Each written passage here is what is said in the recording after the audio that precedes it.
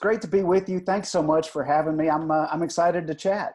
Yeah, you know, as we talked about uh, beforehand, um, I kind of came across you. You wrote a great leadership article not so long ago, um, how to develop a personal leadership philosophy. That really resonated with me. And the individual on your team uh, who reached out used such a great professional approach in uh, engaging that I just had to talk with you. So that's what uh, brings us here together today. I'm glad to hear that our team represents us well, and uh, now you and I are connected. So that's great.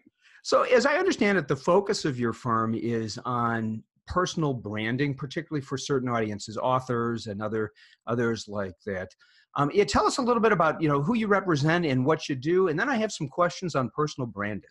Sure, absolutely. And I geek out on this stuff, so uh, feel free to stop me if I'm going too long. But this is really my passion, and so I've been working with authors and speakers specifically for about 15 years now and in that journey, uh, a partner and I decided that we needed to figure out a way to help people with tremendous content, just like you, but uh, other authors and speakers as, as well. We call those personal brands. Mm-hmm. Try to help those folks monetize their content online.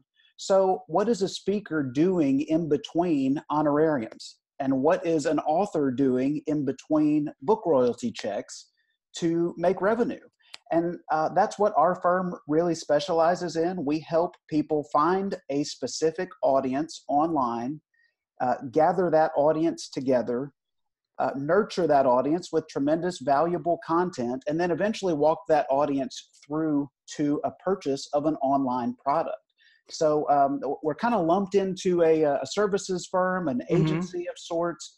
But really, when you hone it down, it's to take personal brands and help them uh, find an audience online and then monetize their content to that audience you know I, it, it obviously near and dear to my heart given the work that i do but i imagine that uh, uh, there's great demand for it so what i'd like to do is maybe unpack this concept of personal brand a little bit Sure. You know, I think that term, at least I first became aware of it when Tom Peters wrote his, what I believe is a classic article in Fast Company, I think 1997, um, that dates me a bit, but oh yes, I was reading Fast Company and I was in the tech arena, and that was right when the you know the dot com boom was beginning to take place. And he came out with this, the brand called You, and and since then it's almost become a bit of a I don't know, I don't want to say cliche, but what what is personal brand today? What's involved with a personal brand, and who needs one? Man, that is uh, that's a great question. I love it. Um, that is that's the question that everybody's asking. So you've got some kind of expertise, you've got some kind of uh, passion in your own life, and you believe, hopefully, that that material could help others then in a way that's kind of the first qualifier for me mm-hmm. As to mm-hmm. what a personal brand could be. Now there's a couple of differences that i try to emphasize when somebody's asking me this question. Number one and i think tom this is what he was doing in that late 90s article is talking about you and, and art. Let's just use you as the example. You are obviously a successful uh, business person tremendous background. You've managed you've led you've written and all of those things are a part of you but art the brand is different than art the person and uh, treating art the brand just like you would treat coca-cola or just like mm-hmm. you would treat disney. It is a business. Now i'm not going to put words in your mouth and say that you're in this just for the money but at some point this is a business and, and most people would like for it to be a revenue generator. Sure and, sure. and, and so a, a personal brand is being able to distinguish between who I am as uh, as an individual, gathering all of my experiences, but then being able to formulate, document, and present those experiences to others. Uh, and right now, online is one of the best ways to do that. But there's many different ways to present your content. But figuring out a way to present that to an audience, and I think those are those are really some of the qualifiers that that make a personal brand. Oh, so so well said. That was like a uh, a marketing uh, 150 course in personal branding, all in a few sentences. Thank you. Right. Yes. You know, so I having, and I'm, I'm just thinking back on my own journey. Eh, something interesting happens. By the way, I had a great career in the software and tech world. We sold our company. It had been a turnaround. We grew it into the market leader. It really was kind of a, you know, almost a storybook type scenario. Aside from the fact that when we sold the company, I ended up leaving a team that I loved. That's another story. So it wasn't so storybook. And then I decided to set out and do some things on my own. What I learned quickly was well, there were elements of that kind of corporate persona that still hunted in the market, mostly I had to start from ground zero and begin to build a brand. And I wish I would have known you 10 years ago because I think I made every mistake you can possibly make, probably still making some. You know, that's interesting though, and you're certainly not alone. But uh, one of the things I've noticed, and, and this is why I have a business, to be very frank with you, this is why Leverage Creative Group exists, is because highly creative individuals are outstanding at creating content. And typically, they're not outstanding at building the back end or building the business side of that. And there's nothing wrong with that. Uh, what I've figured out is I've got to help people stay in their lane. And so that allows them the, the best option, the best opportunity to create mm-hmm. the best content that they're capable of. And then me and my team can kind of come alongside them and handle all of that back end stuff, which so often frustrates and even, you know, prohibits some people from actually moving forward in this arena. Eh, no doubt. So let, us take the case of someone who I guess uh, you know resembles my background. I have to imagine that that that's not uncommon, right? You get corporate person of some sort, exec, whatever it happens to be, transitions into a solo life, decides to write a book, which was the first thing I did. By the way, nobody told me writing a book was a not for profit experience while you were writing the book. That's great. That's oh, great. And then I did. I came home from a conference at Kellogg Northwestern one day when blogging was kind of just beginning to gain steam, and said, "I think I'll start a blog." And 1,600 articles later, I've had a lot of. It's been spectacular. But right, what should that individual do? You know, versus my wander through the woods of personal branding. Wow. Well, I think you're providing some great resources for people. Uh, so, one of my first advice uh, points to, to anyone wanting to do this is to study the market. Uh, you've already done a good bit of that. I've noticed your name pops up as uh, one of the, the top leadership blogs on a few different websites. And so it's clear you're providing some great resources for folks. But that's really one of the first things is mm-hmm. if you want to enter a market, and this is true in any business, not just in personal branding, but if you want to enter the marketplace and eventually carve out your own piece of that market, you've got to study the market. You've got to know what's out there, what seems to be working, what seems to not be working uh, there's tons of stuff that can be learned ahead of time. I think where a lot of people struggle in this arena is that they're so eager and so ready to make that transition from a corporate career to a solo venture or from uh, I've been a follower all this time. It's time for me to jump out there and be a leader or a mm-hmm. voice in this industry. They're so eager to make that transition happen that oftentimes they'll skip steps one through 10 and, and jump right to step 11. And if, and if you haven't done the first several things, then step 11 leads to uh, some frustration right. and money and you're, you're, you're stuck. And so um, that's, uh, you know, that's not uncommon at all. You're right. You know, I, I just, I run across so many individuals that are struggling to get traction in this area. So I, I wonder if you actually know how big your potential is with your business because there's just a lot of folks trying for help. When, when I think on my own own story, I actually made two mistakes. Um, well, first of all, I guess I recognized that you know you come out of the corporate world, you know, teams of hundreds and and what have you. I literally didn't know how to do anything. I, had historically had a team for. Yeah, you can relate to that. Yeah, for those of you who can't see, if this is on audio, David just give me the thumbs up. Yes, that's me as well. and, and then the other thing was that I decided I like to do so many things that I just said, sure, I can do that. Sure, I can do that. Mm. Sure, I can do. And I figured things out. But I, I created this kind of dilution and didn't really carve out a specific you know, persona, target market, uh, value proposition. I didn't do any of that right. So is that something you help clients with? It absolutely is, and it's essential. And uh, again, you're not alone in that. Uh, the temptation when starting in this personal brand space is to do exactly what you just said. You want to be all things to all people because anybody who knocks on your door you're not yet willing or ready to say no because you say I, I got to figure out a way to move forward so yes i will do whatever it is that this person needs. Mm-hmm. which on the surface sounds like it's a, a decent idea but long term you're not building any credibility you're not building any authority you're not building any expertise or audience to eventually sell a book or an online product to. So it's absolutely essential to identify that target market. And what i try to tell people is that whatever your target market is, especially as you're starting out, whatever your target market is today, that does not mean that that has to be your permanent target market. Great it does, point. It, it, does mean that you have to have one today. You've got to have something to go after today. And after you build up that credibility a year from now or five years from now, of course you'll have opportunities to expand and to add to that.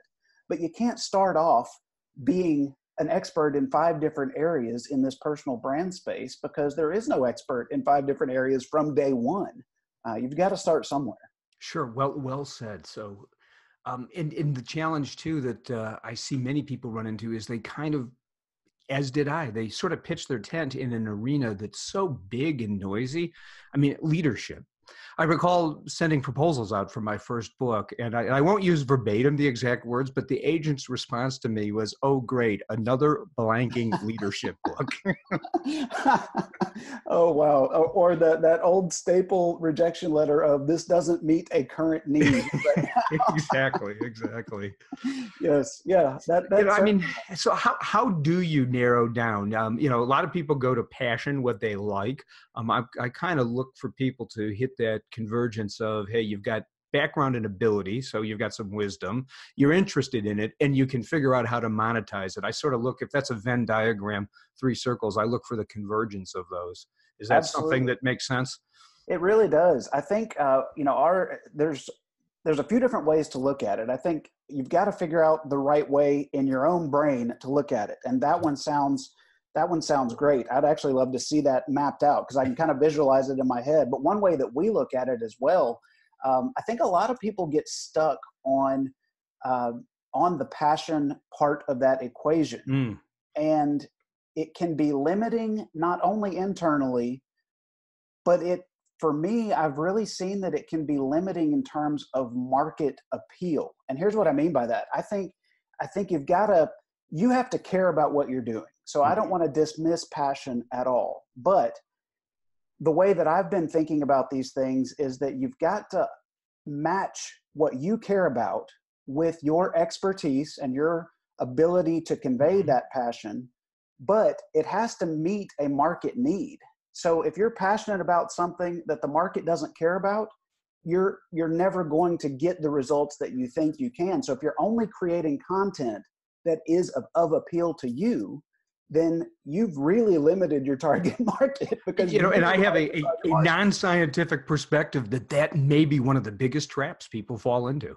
It really is. It really is. And i think that's where people need if nothing else need some additional perspective when going down this journey. So there's we're certainly not the only company that does this. There's others out there but even if you don't hire or or bring on a partner to help you in this journey just having conversations like this mm-hmm. to say hey here's what i'm thinking about and to get some some wise outside counsel uh, on the situation and on what you think you want to deliver to the market testing that out with some some trusted voices first that's a really good idea. It sounds like it's you know that commercial priceless. Yes exactly exactly. It can save you and can save you years. Sure. it can save you decades even so let's talk about the two B's books and blogs. Um, you want to start out, you're coming out of the world, you got a great history, a background. Do you need to lead off with a book? What's your perspective on that? You know, I, I really do. This is this is a terrible answer, so please for, forgive me. But I really do believe that it changes based on the person. If you're capable of writing a terrific book that delivers outstanding value, then absolutely that's where you should start. But as you know, not everybody can do that. not everybody can write a book. Uh, a lot of people get terrified by the overwhelming uh, volume or the page count, the word count of writing a book, um, the outline. They don't know how to compile it. So it might not be the best thing for everybody, but you do have to find out the best way for you to communicate. Mm-hmm. Uh, and, and, if that's a podcast, if it's video interviews, audio interviews, YouTube videos, uh, consistent emails, if it's just blogging, uh, if it's a book, if it's creating an online course, there's a variety of different options. Uh, so that I don't think it's a one size fits all solution. I do think that you've got to figure out a way to uh, to communicate best for you that also meets the need of the market. So that's uh, th- those that's are the great answer. Yeah, no, that's a great answer. I, I think spot on voice of experience there. So, uh, one last question on on the book front. Um, obviously, it's hard given the competition for many to gain a formal publishing relationship. You know, self-publishing and the services are all over the place. Is there still a negative stigma associated with that? There certainly seemed to be 10 to 15 years ago. You're right. There definitely was. I do think it's going away uh, with mm-hmm. every passing year. Uh, I still tell people to exhaust every opportunity for a traditional publishing deal mm-hmm. before they move forward with self publishing. Uh, I don't think there's anything wrong with self publishing if you do it the right way and if you make sure that it is as high quality as you can afford to make it, um, because there's some cost involved to, mm-hmm. to self publish. Obviously, the, the profit margin on a self published book is a little bit better than a standard book royalty from a traditional publisher, but there's upfront costs and all the marketing is is on you. But I do believe the stigma is going away a little bit. Uh, you know, one thing, and this is not exactly what you asked, but I, I want to. Uh, like I said, I geek out on this stuff. Yeah, so sure, just, sure. Go, go, go with it. But I, uh, the book question, uh, a lot of people have asked me, "Hey, I, I want to go ahead and write a book," and my response is great. If you feel like you're supposed to do that, then then more power to you. Go for it. My follow up question to that is, who are you going to sell it to? Hmm. And m- most people do not have an answer to that. Most people have not thought about who is the market going to be, especially if I'm going to self publish this. If somehow you get a traditional publishing deal, that helps in terms of distribution because those publishers have access to a lot of people that you don't. Right. But if you're going to go the traditional publishing route, then you've got to find the audience and you've got to figure out a way to sell that. So is is there an audience existing? Do you have, for example, an email list? And I know you've got a a pretty sizable email list, so you have an audience that you can can uh, reach with those opportunities. But most people don't, and so you can write the best book in the world. You could write the book that could change millions of lives, but if you don't have an audience to sell it to, mm-hmm. then it will just sit dormant on Amazon or on your website or, or whatever. So, or even, or even worse, you'll take delivery of a few hundred copies and they'll sit in your garage or your basement. oh yes, that uh, that is way too common in this industry for no sure. No doubt. Well, how about how about blogging? Is that still a, a good way to build visibility, get your voice out there? I definitely think it is. I think again, it's it's shifted a little bit uh, because mm-hmm. so many people are blogging now. Right. Uh, the the competition um, is really it's just almost overwhelming, which enhances the need to have a target audience. I also think it really means that anytime you communicate with that audience, anytime you write a blog and then push it out to your list, uh, it needs to be of high value. And so many times, people, especially five or 10 years ago, people were saying, Oh, I've got a blog three times a week, or I've got a hmm. blog, hmm. uh, you know, five times a month, or whatever it is. I really think those quote unquote rules have gone out the window. Okay. And I think the most effective way to do it is to figure out a consistent timeline to deliver content and then stick to it. Now, one thing that a lot of people misunderstand when I say that is they think that consistent means constant it it doesn't. Consistent for you might be once a month, right. and that's totally fine. Um, but whatever consistent is for you, tell your audience what they can expect from you, and then actually deliver on it. Because if you can do those things, you'll already be doing better than what most people online are, are able to do. Yeah, that's a really great point. And I'm thinking about it. There are a number of bloggers that I follow that I love. And the one gentleman uh, is an executive coach, Ed Batista. I'm happy to mention his name he writes in like spurts. He'll come out with two or three really quickly, and then then he'll disappear for a month. He's a busy guy. He's coaching. He's running right. workshops and programs. But when I come back to his site and find a fresh one, that's just like finding a buried treasure. It's just fantastic. It's so exciting. It yeah, and I don't care that he doesn't do it regularly. I you know I well, catch it when I catch it. And you're obviously evidence that what he's doing is working because he's created brand loyalty, he's created trust, he's created authority. You know right. that if he's put something out, it's of the highest quality and he's not just you know churning out random useless content just for the sake of trying to, to stay on your top of mind. Uh, that's that's tremendous. He's developed. there are great... more than a few bloggers that I think fall into that category. I will not name names, however. This right, is a yes. family show, so right. Most of us have uh, those fake email addresses designed specifically specifically for those. All of those emails. Right, right. Hey, so speaking of blogging, um, I, you know, I really enjoyed yours. Often, what I anticipate when I show up at a you know a service provider's blog might be something that's uh, an awful lot of pitch And what I got from you was just a, a great blend of education on the personal branding and the you know various services that you guys touch but without that pitch tinge. And then some fabulous leadership content and that sort of mm. i don't know why it surprised me but it did. So why why are you uh, interested in writing about leadership? Well it's interesting for me because as i mentioned to you before we started i've been i've been kind of behind the scenes for 15 years of mm-hmm. other authors and speakers a lot of them in that personal development and leadership category. So i've observed for quite a while. I've read tons of books. I've I've studied people, I've worked under and for and on behalf of many of them. And that's been terrific. Uh, the opportunity to start my own company put me in the position of saying, I've got to figure out how to actually put this stuff into practice. Mm-hmm. Uh, much like you, you know, I was in the corporate world for a while and even managed teams up to 15 or 20 people, right. not the size that you've managed before, but uh, but still, uh, you know, a decent number of people but I was never the the final word. I was never the decision maker for the business mm-hmm. uh, until Leverage Creative Group started. And my co-founder and I decided, you know, one of our tenants is going to be to always be learning, uh, to then surround experts with other experts, and then share that expertise with as many people as we can reach. And so what we decided was, hey, it's clear we've never done this but we're not going to shy away from documenting our process as we build this company learning as fast as we can and then sharing that expertise with others. So everything you've read on our on our blog is it's really just a documenting of our journey growing this business while doing it uh, helping you know professional development authors and speakers helping them get their message messages to others. So it's a it's a self-reflective kind of thing um, I, I, hope that there's value in it, but uh, I know that I, I'm certainly learning while writing some of these things. I think it's fabulous. No, it's great that you're kind of chronicling the uh, you know the evolution of the firm and, and your leadership journey and your and the, and the journey with your colleagues there. So eh, eh, help me understand what type of culture have you worked to develop within your firm? That is, uh, it's in process. That's the mm-hmm. first thing. Um, I don't think we will ever reach the point where we say we're done uh, mm, sure. developing this culture. But we're we're very much in process. You know, I've come from uh, I worked for Clear Channel Radio right out of college, so I worked for a mega media conglomerate.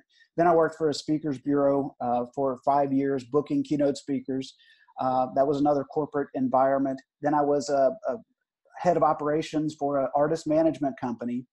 And in each of those situations, I found that I, I wasn't fully comfortable with the amount of transparency that was available to the entire team.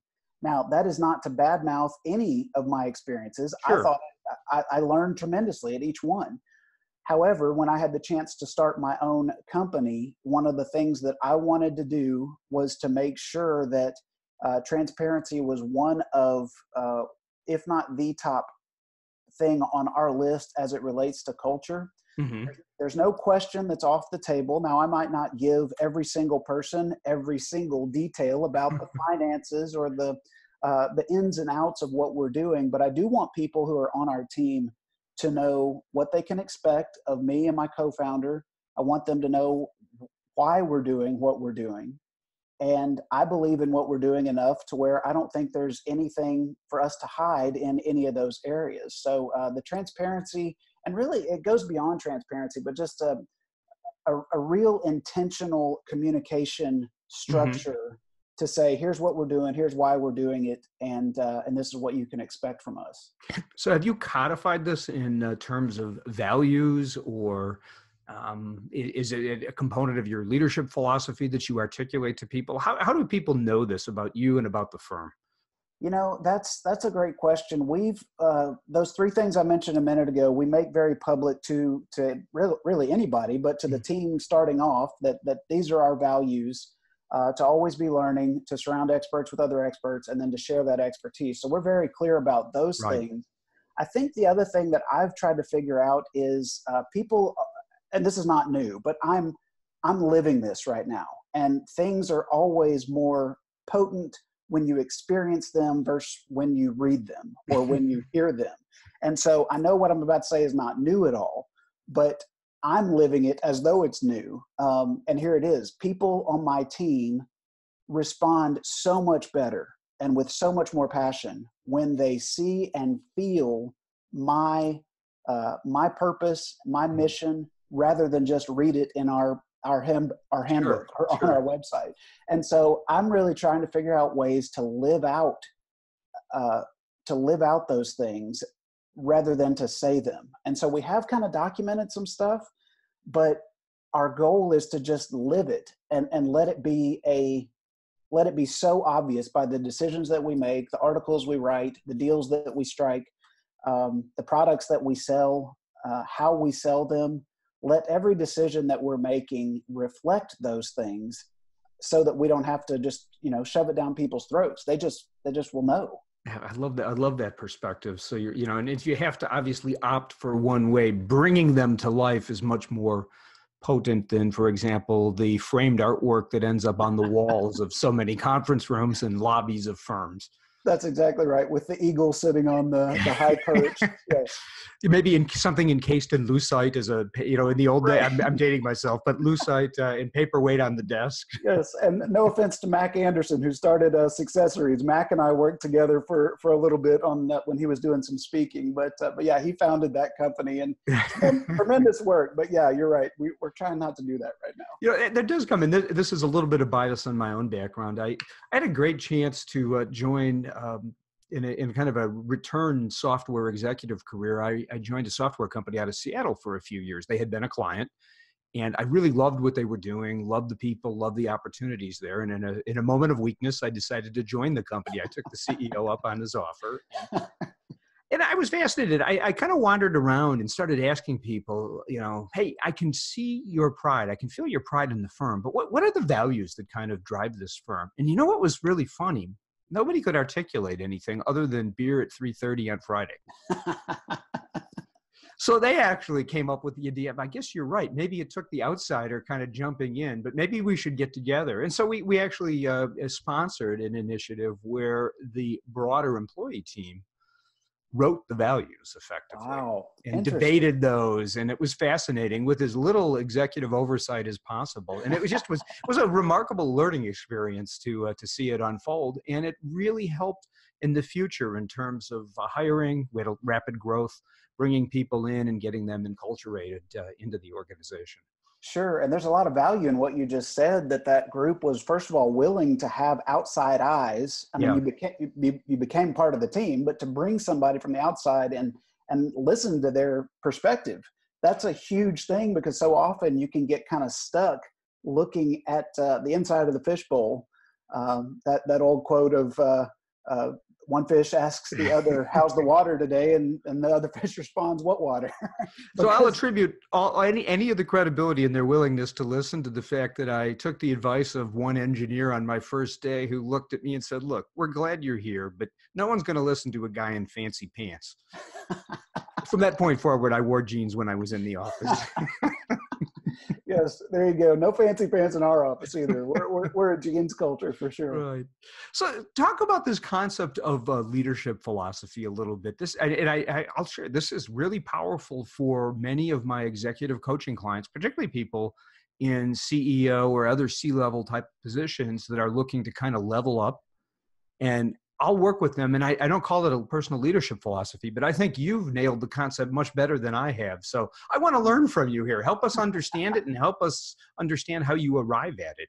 Sure. Well, again, this is, uh, thanks for your kind words. I hope it is useful. I know it's useful to me. Mm-hmm. Uh, again, this is self reflective. This is me documenting a mm-hmm. journey. Mm-hmm. I've never been a CEO before. I've been a, an account executive, I've been a vice president, I've been a COO but until you know 20 months ago i'd never been a ceo sure. and so i'm i'm learning as i go here. And i encountered several things specifically in the first year of our business that i felt no one ever told me i would encounter. No one ever I, I never read the book that said these things would happen when you start a business or these things would happen when you when you're a ceo um, and one of those things was you know what do i do when i don't know what to do Mm-hmm. And and I got to be honest with you, Art. That happens to me all the time. I don't know. there's so many times that I don't know what to do. So I had to figure out. Okay, you know, not knowing what to do is fine. Right. And it happens to all of us. And it's truly fine when it's inconsequential. But what what about when it really means something? What about when your business is on the line or your biggest clients on the line or your team, your employees, your payroll? What about when those things are on the line and you don't know what to do? What's your next step? So I tried to figure out a way to document for me what's going to guide my decision making process when I don't know what to do because there are certain things that are true regardless of the situation. Mm-hmm. And so I tried to figure out, I used a couple of examples in that article, but really at the end, I tried to just document here's the process I've gone through. Here's something I think could help others. And the short summary of it is to, to answer four internal questions, mm-hmm. then to document and answer three external questions uh, about realities that exist, and, uh, and then to start formulating the, the structure of what those answers look like um, but but again, it really for me it just came down to how am I going to decide what my um, process is going to be when I run up against things that are unexpected and I don't know what to do uh, because frankly that's like I said, I mean, it's just happening. It happens all the time. So sure, I had sure. to have boundaries. I had to have something that helped me move the company forward because if I don't make those decisions, I mean, you know, the company is not gonna not gonna exist very long. So, uh, what's your, your uh, opening phrase there? Maybe the greatest blog title I'd never thought of until now. What do I do when I don't know what to do? Mm. I, I, encourage you to steal that one. If I use it, I'll give you attribution, of course. But I encourage you to lock that one. That's fabulous, and that's it really is. the essence of the challenge, isn't it? It really is. And again, I'm sure somebody has written or talked about this before, but in my journey, I had never read anything in that vein. Mm-hmm. Um, and it's not like I was expecting this to be simple. Um, I didn't think I would just step in and build a, an amazing company and be an awesome CEO from day one. But at the same time, there are tons of things that have happened that I, even in my best experience, still had no clue what what to do. And so I found myself uh, facing that question mm-hmm. way too frequently to not document it and so once I documented it for myself, I was thinking, well, maybe I'm not the only one. maybe somebody else out there needs sure. some help with this. And you know, and for uh, everyone who's listening, I'll absolutely share the link to the article from the show notes, so we'll we'll have that in there. Tremendous. Um, so you know, inquiring minds want to know what's the biggest or best lesson you've learned the hard way in your development as a leader. Oh man, how much time do we have? We don't have enough time. oh, you got you know you got to prioritize here. Pick one. Yeah, Pick one and exactly go with it. Right, yeah. right. Well, yeah. Gary Keller says in the one thing that the priority is not a, a pluralized word. It can only be one thing. Right. Um, so I would say, gosh, you know, as much as I have been around others who do this, you know, whatever this is uh, write and speak and, and the personal branding thing. Um, and as much as I've studied and read, mm-hmm. as many conferences as, as I've attended, I feel like I am learning every day how little I actually know. I mean, I, th- I, I think that, and that's not a, that's truly not a, I'm not saying that out of, out of ego or, or humility. I just think the reality is the, the more I get into this, I feel like the less certain I am about my depth of knowledge. I feel like I've just scratched the surface. And, and the more that I study and read, the more I realize I need to keep studying and reading. Hey, David, I, I think it's an important point and it's a creative answer um, to, to the dilemma. You know, we all run into in these positions this kind of level back to your what do I do when I don't know what to do? Um, I suppose it maybe flirts with the concept of imposter syndrome. Not that you have that, but where we oh, run into something where we're where we're in a role and we're supposed to know what to do and we just don't, you know, and you got to kind of figure it out. So and sure. you and you have that self doubt that creeps into your mind. I certainly have lived that many times. Absolutely, and I don't know if you've ever struggled with this, but I I struggle with it constantly. Is um, am I qualified to write that type of article that you right. saw? The, the struggle that I went through to document that, to get it to our team, and then to put it out, uh, imposter syndrome is very real. And you know, I'm sitting here saying I'm I'm 38 years old. I've never been a CEO before. What right do I have to to write anything in this vein that could be of use to anybody else? And so, you know, the reality is that everybody has something of value to share, and that's certainly what I would coach you or any other uh, person to do. But then applying that to my own life, whew, it it's not easy. Challenging. Yeah. Yeah. No, well said. Well said. Okay. So as we kind of wind things down here a little bit, I want to jump back to the, the personal branding. We, we've got that individual listening, mid-career type professional, a lot of success, thinking about taking it out uh, on his or her own. You know, what do you want them to avoid in the vein of you, you, you didn't necessarily read the book that said, Hey, as CEO, don't do this. Uh, what do you want them to avoid? Let's give them the tips. Yeah, a couple of things. Um, number one, this is not about you. That's the first thing I would say is if you truly have a unique experience, if you have a passion about delivering that experience and expertise to others, then you have to remember and keep really first and foremost in your mind that this is not about you. This is about the recipient. This is about people. We are all, especially in this industry, we are not in the book business, we're not in the speaking business, we're not in the digital course business we are in the people business. And it has to be the number one focus for you for everything that you do because you've got to deliver value and you've got to distinguish yourself from other people out there. So when I say it's not about you, I'm, I'm, I'm really specifically talking about every decision you make needs to be filtered through how is the audience going to benefit from and receive this. And this could be an email, it could be a blog post, it could be a product, it could be just the landing page of your website. I was talking with a, a former executive a couple of weeks ago, and she sent me a link to her new speaker website. Mm-hmm. And again, we won't give won't give names here because we're going to be kind. but um, the entire website was about her, and mm-hmm. it was mm-hmm. about how great she is. And I can understand why someone would think that it's good to promote and focus on themselves. But as a consumer, if I go to that website and I don't know immediately what the value is for me, I'm done. There's way too many other people out there that I can go to. So uh, that's a long answer to your question. But that first... is a, a, priceless answer, worth twice the price of admission here. So yes. don't make it all about you. Yeah, it, it. And that really ties together with your your your earlier comments on it. So, what a great way to wrap things up. Um, where can people find more about you and your firm? Absolutely. LeverageCreativeGroup.com. I know it's a long URL. We looked into purchasing something shorter, but uh, haven't made that happen yet. But yeah, LeverageCreativeGroup.com. You can shoot me an email if you'd like, David at LeverageCreativeGroup.com. I would love to chat with anyone.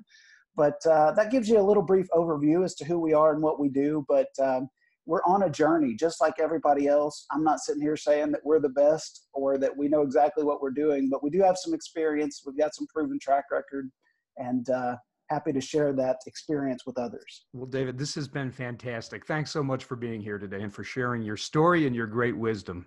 Art, thank you for having me and thanks for all the value that you deliver to, uh, to me and to so many others. My pleasure.